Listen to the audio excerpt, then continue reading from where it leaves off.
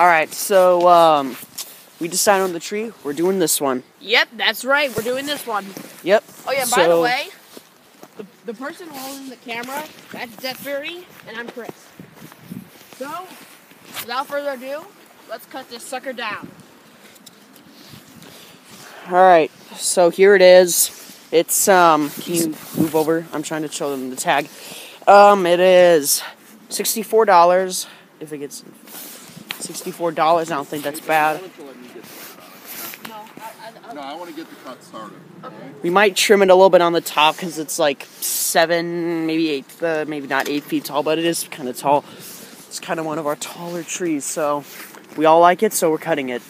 I'm just, I'm just gonna throw some of the leaves off. And uh, I gotta show you guys something that's really weird that I noticed while he's working on cutting this thing down. I saw a tree over here, wherever it is, right here. Here. So this tree has a has a, this tree has a tree growing out of it. Actually, that's not true. They're just two trees really close.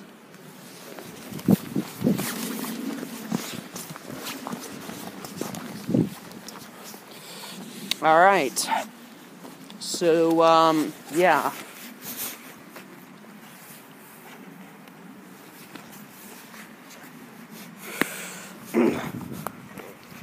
All right, so uh, he's cutting it right now. Looks like he's trying to dig through it. Hey, Ben. Here, stick your head out.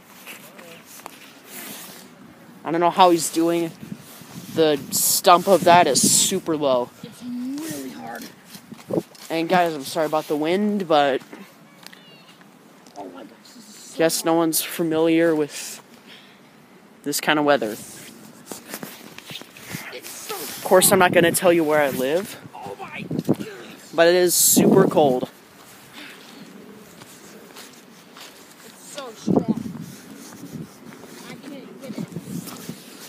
I cannot even tell how good you're doing.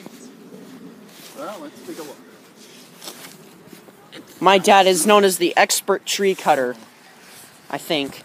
Maybe my big brother.